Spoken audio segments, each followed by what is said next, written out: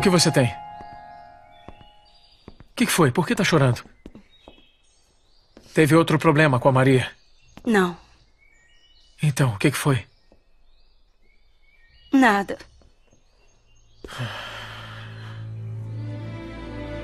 Que hora seu irmão vai embora? Alessandro, olha, eu não disse nada pro Demetrio ir embora. Por que não? Porque. Ai, porque ele é o meu irmão. E mesmo que ele tenha agido tão mal comigo, eu não tenho coragem de expulsar ele, eu não posso. Então eu mesmo faço, não, não, não, se preocupe. não, não, não. Me escuta antes, por favor. É que a minha tia me implorou que eu desse uma oportunidade, que eu tentasse perdoá-lo. Eu sei que eu deveria odiá-lo por todas as coisas que ele me fez. Mas eu não posso. Eu não posso, apesar de tudo, ele é meu irmão e, e eu gosto dele. Às vezes, eu não entendo a forma tão rápida como você muda de opinião. Mas dessa vez eu sinto muito. Você não sabe como me incomoda o fato dele estar aqui e eu não vou tolerar que ele fique nem mais uma noite na minha casa. Não, não, não. Alessandro, por favor.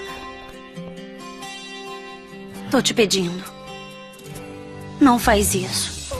Pelo amor de Deus, é a minha família. Aunque sientas que la luz se apaga, yo sigo junto a ti. Si nos lleva el destino, lo mejor está por venir. Si vas en caída libre y te sientes derrotada, yo me entregaré en el alma para curar tu dolor. No me queda nada más.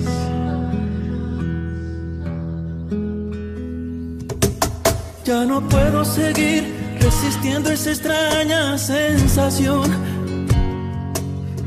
que me hiela la piel como invierno fuera de estación. Tu mirada en la mía, ignorándose en una lejanía. Está bem. Diz pro seu irmão que ele pode ficar uns dias, se é isso que você quer. Obrigada.